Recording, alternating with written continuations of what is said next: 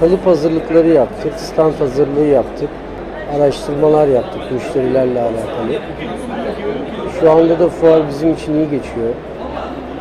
Yani ilk katıldığımız sene olmasına rağmen reklam açısından çok memnunuz.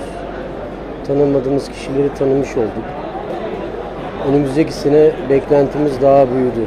İnşallah önümüzdeki sene daha güzel günler bizi bekliyor. Bir dahaki fuar için önerim tanıtım tanıtım yapılması lazım. Daha çok alıcıların buraya alaka göstermesi açısından. Ee, dünyada tanıtım bence eksik. Sadece Araplarla sınırlı kalmamamız lazım.